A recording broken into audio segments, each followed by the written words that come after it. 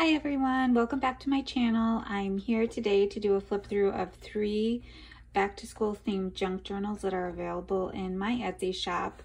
Um, if you do follow me on Instagram, you will have seen that I did some quick kind of flip throughs of each of the journals. Um, there were three others that have been purchased. Um, but I needed to get those in the mail before I had a chance to make the YouTube video. So if you don't already follow me on Instagram, I usually post things there first. Um, my handle on Instagram is 11 Dancing Dandelions. So if you want to follow me there, you can see things um, probably a little bit faster than on YouTube. So we'll go ahead and do um, a flip through of each of these. Like I said, they are already available in my Etsy shop if you're interested in purchasing them. And if you have any questions about anything, just let me know in the comments below and I will get back to you and try to answer them. So the first one was created from a vintage little golden activity book. It's called Count to 10 and it's got this little spinning wheel here um, really cute graphics. This one's from the 50s. It's, let's see, 1957 is the copyright. So it's a typical little golden book, about six by eight dimensions with a two inch spine, three signatures. I did put some buttons on the spine just for some decoration and I left the back cover and the inside cover just in its natural condition a lot of times I cover, I like kind of the scrapbooky look. So I cover the front and back covers and sometimes even the, the back of the back cover. But this one was in really good shape and I felt like it went with the look of the book and also this little wheel here kind of made it a little bit different so all right let's take a peek i will try not to take too much time but i want to go into some more details than I did on my Instagram. So there's fabric covering the spine and trim, and there are some book pages in this book, um, many of them, but I don't believe all of them are in there. Um, I did reinforce the pages with washi tape that's back to school themed. There's a library card pocket here that is just paper clipped in so you can put it wherever you'd like. I made several quilted patchwork um, fabric pockets. Some of this is vintage fabric, some of it's newer. Um, I think this what I bought, um, I think it was told to me that it was feed sack fabric, but I'm not 100%. Anyway, in the pocket, there's this little um, game playing card, a uh, little postmaster seal of vintage postcard that's empty or blank, and a piece of stationery with some apples on it. Like with all of my journals, I tried to do some decorating, but also leave space for you. The idea is i I hope that my decorating just kind of gets you started and then you can kind of take it from there and make it all the more decorated with the final outcome. Okay, so this is a uh, Seal and Send Postalette and a vintage milk cap. For the tabs, I did some, some stitching and collaging of fabrics, kind of give it more layered effect. All of these images are true vintage images that I fussy cut from our catalog, sewing pattern catalog. Um, they're all throughout the book. These are some reproduction Dick and Jane Seal and Sends. This is from um, a vintage reader some handwriting paper, some stationery with pencils. This is uh, a vintage book page. This is just washi taped and, and I usually, whenever I use washi tape, I use glue, but in this case I did not, in case you want to take this off and make it into, pick a side and then put some paper on the back, make it a journaling card or a tuck spot or a pocket or something. It's kind of versatile. If you want to leave it like this, like a flip, I would add some, take this off and add some glue there just to make sure it's good and strong. I think that this one might be feed sack fabric also. And then on, I believe on the ones that are remaining, I believe I put buttons on the inside, but these are not tied, so you can take them off if you don't like them there.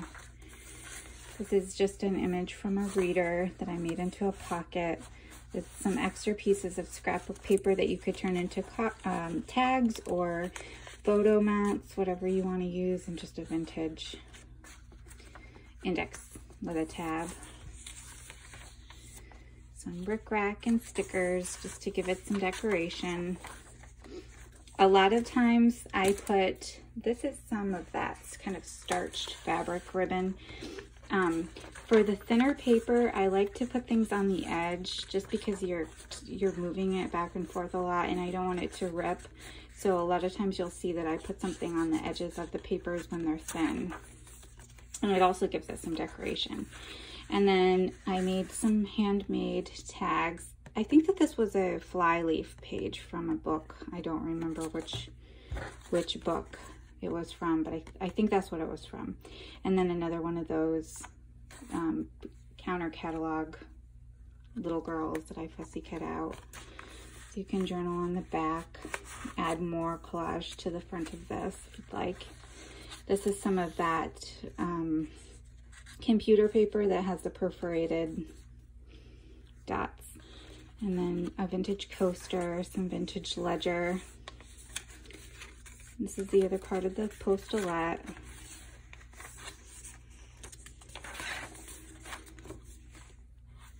This is a printable from KB and Friends. Any of the printables I used in any of the journals was purchased from KB and Friends. This is just um, an image from a, a vintage uh, dictionary, children's dictionary. And again, more paper to use as photo mats or make your own tags or tucks or pockets. Just, I like to include as much coordinating paper as I can so you can use it when you're making your own. Some I can't remember what this is called. I want to say like stenograph or I, I don't remember what this is called, but this is vintage paper and a, a little dime. This is really pretty vintage trim and this is typewriter paper. I believe this is typewriter paper. Oh, no, this is resume paper, so it's really nice texture. And then I did leave part of this unglued so you can use it as a tuck spot if you want. This is from um, a lot of images I get from, I've taken from this book, this Corinne Malvern's Mother Goose book. So it's a really cute, kind of a side note. It's got a lot of really cute illustrations in it. So this image is fussy cut from, I believe from that book. I also have Childcraft books that I get images from. And some music paper. This is a progress report from 19 the year 1956 to 1957 and it's kind of just fun little ephemera to have in there. You could collage on this or just kind of keep it to to look at. You could just paper clip things over this whatever you'd like to do. And this is from another science this is from a vintage science book of some sort. Another pocket with some printables from KB and Friends this is a vintage dictionary page. If you want, you could close this into a pocket, um, you know, tape or glue these sides down make a pocket here or leave it how it is. And this is a double pocket with an image from a reader and some playing cards, some play money, a vintage postcard, and a printable flashcard. And then the back I just stitched most of the stitching that I do in the journals, I, I don't know why it bothers me when the stitching goes to the other side, but I like the look of the stitching. So if you're making your own journals and you haven't, um, I mean, I'm not the first one to, to bring this up at all by any means, but um, if you like the look of stitching, like, like I like the look of it, but I don't like how it goes to the back page, you can just stitch it on your sewing machine and then glue it down so that it looks like it was stitched on but it, you don't have the stitching on the other side. Here's another journaling card. Try a little bit faster. The other part of the um, report card. Some music note paper.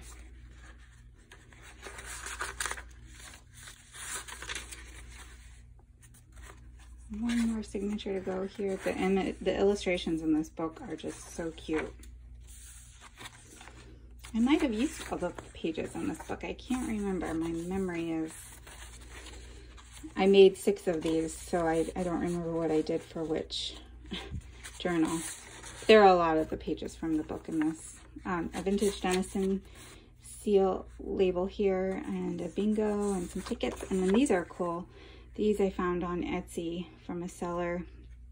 They're chemical engineering and they're the size of an index card. So I thought that they would be fun to alter. I got them in a few different colors. I don't think, I think I looked in the seller I don't remember where I purchased those from, but I think I went back and looked and there were no more of those left. But if you are interested in those and you want to know where I got them, just send me a message and or a comment and I will look it up. I don't remember. This is a um, teacher's like record book, I guess. Um, it says about absences, the daily average, the test, the average, um, where you would write the the names and then kind of for the days. A flashcard and some vintage trim. This is a Viewmaster and a flashcard. Another handmade tag and some more ledger. This is a double belly band, so I just put this as a, a card from the journal or from the scrapbook line. And then a vintage postcard. This one's from 1940 or envelope. I think it's a postcard. I mean envelope. And another book page, again with the washi tape. More vintage ledger and ticket, and this is a little applique. Tracing paper. Um, just some fun little pieces of ephemera, another library card. This is from another dictionary book that I just made into a journaling tag. and this is from a reader.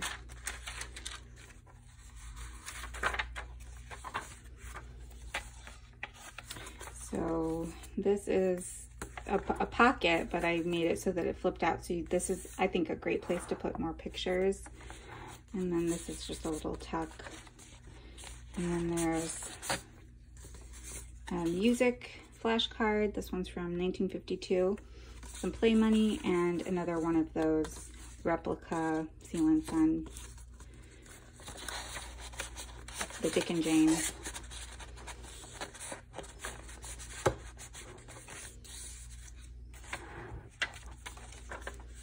Lots of ledger, writing space.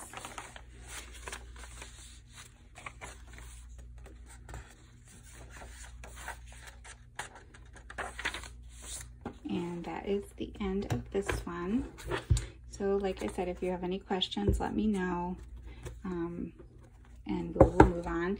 So this next one is pretty cool. This one, um, I think that the copyright, if I'm going by my memory, it was 1917. So this one's really old book. Um, it's in pretty good shape for its age. That's over 100 years but um, it's about seven and three fourths by five and a quarter, and I think around an inch and a half spine, yeah. Again, I put buttons on the spine. They're just for decoration. And the back looks the same as the front. I did leave the end papers in the book, the original end papers. And again, I reinforced with washi tape. Here's a library card pocket. There is some writing here, but it's in pencil. So if you don't like that, then you can erase it. And some more sewing pattern um, fussy cuts. I love this trim. I don't have very much of this trim left. It's so cute.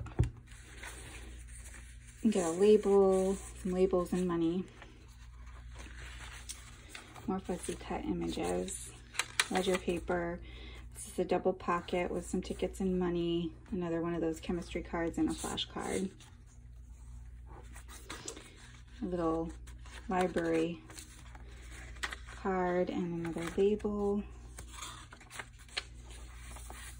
This is an envelope that I put another card in and then So there's a pocket and then there it's also a tuck. And there's a vintage postcard here tucked in there, just so you know it's a tuck. And then here I took some images from the counter catalog and just made a side loading pocket here, put some stationery in there.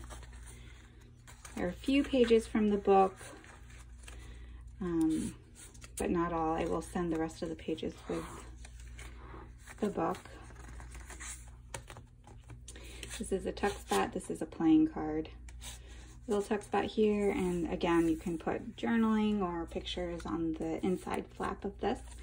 And then some more ephemera, some book pages. So a lot of similar things just kind of arranged in different ways.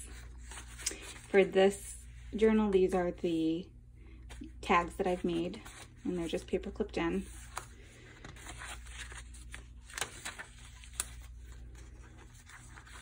Some of the same ephemera. So won't spend too much of your time. And some stickers.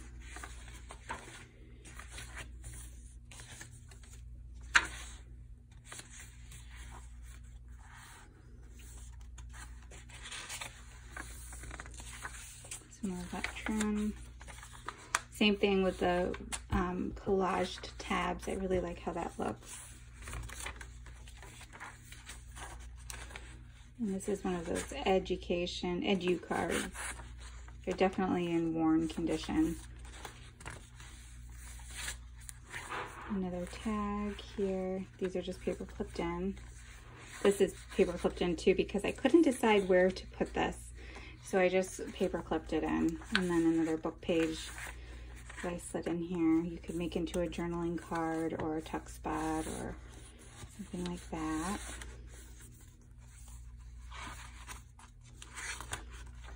All of the numbers of pages are in the Etsy listing if it's something that you're interested in purchasing. I don't, I don't, well, I don't know. I might have it written down somewhere, but it's better if you just check out the listing. It'll tell you the measurements and the number of pages. There's a mixture of newer and vintage things in each of the books.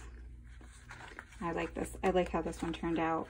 Just the colors and her cute expression. And then this one has some aging on the pages. And so that's Peter Rabbit Goes to School. And then the last one is from just a little um, junior elf book. This is a single signature, much smaller. This one is about six and a half or six and a quarter by four and a quarter and an inch spine. But I did put some buttons down the spine here. Um, the cover does show wear and aging, if you can see that. And then on the inside pages, I left the inside um, covers as they are because they have cute illustrations on them. And this one is just a little bit less decorated. I do need to put a library card in here. I forgot to do that. I will do that. And a lot of things paper clipped in. There's some trims. A lot of the same ephemera. There's some wrapping paper and some trim.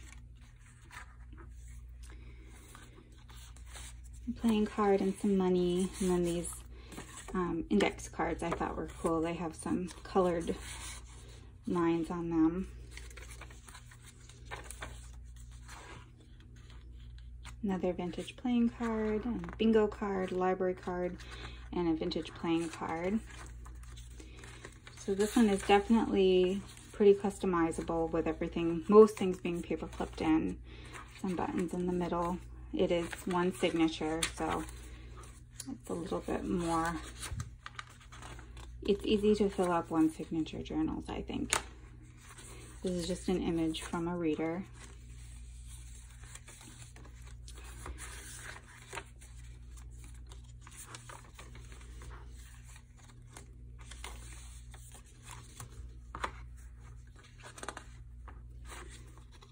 and some more scrapbook paper and play money. One of those um, from the 50s, the little music index, the flashcards, and a little playing card.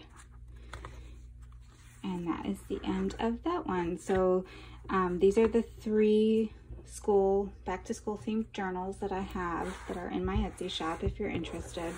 And like I said, if you have any questions about how anything was done or what something was, just send me a message or leave a comment and I will get back to you. Thank you. Have a good day.